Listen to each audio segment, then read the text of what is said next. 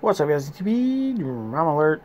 So, American Nightmare Cody Rhodes put out this post that says, Look who showed up to do commentary for AEW Dark, which is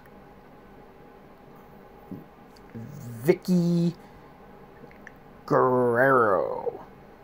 Excuse me!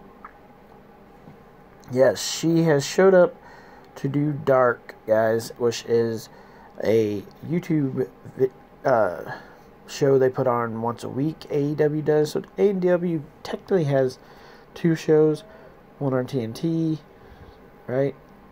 Yeah, and one on their YouTube channel, which is the only one I can watch because I don't have that.